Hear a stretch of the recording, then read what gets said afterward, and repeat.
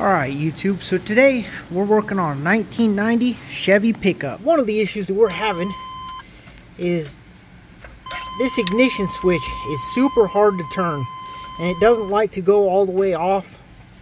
So I'm going to show you guys what wires it takes to hot wire this truck and therefore wiring a new ignition. We're going to go right up under here under the steering column and you will find up towards the top these two plugs. There's a black and a blue. From those, we're going to cut off the pink, the purple, the reds, and the orange. Those are the wires you need. The two reds are constant hot. They're hots from the battery. The orange is switched hot if you turn the ignition, it sends power from the red to the orange and turns on the fuse box. The purple sends power from the red to the purple to start the engine.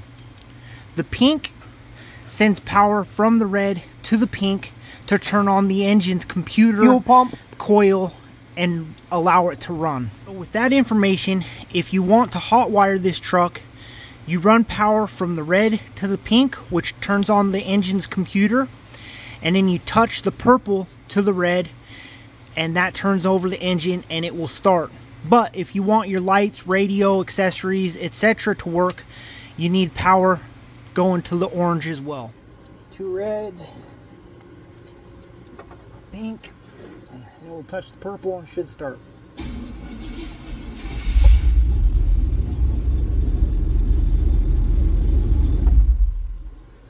Take off the pink and it kills it.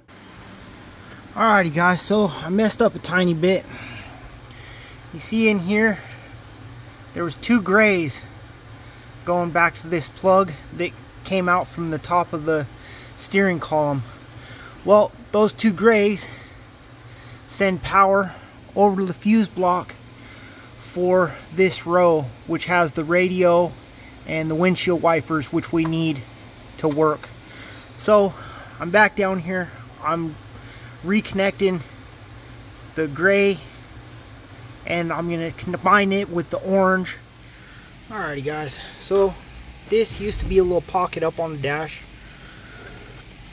Cut the back off of it and made a little U-shaped piece of metal with the ignition switch in there.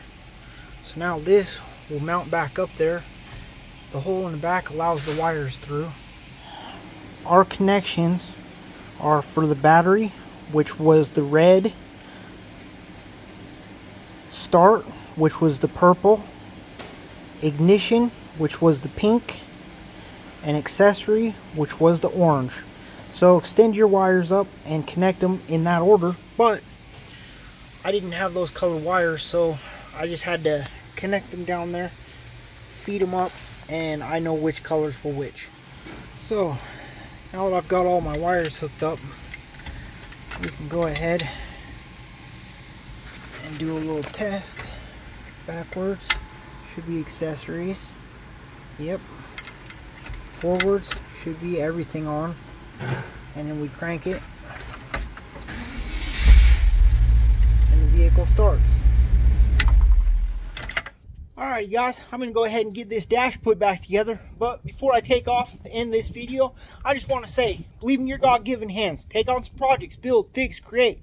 I thought this information would be really helpful to people. Maybe you bought a truck without the keys, went to an auction, picked one up. Maybe you're having ignition issues like we were.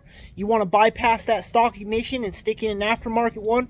Maybe you're doing a race truck or a mud truck build and you want to put into an aftermarket ignition. So there's the information. Hope it helps somebody out.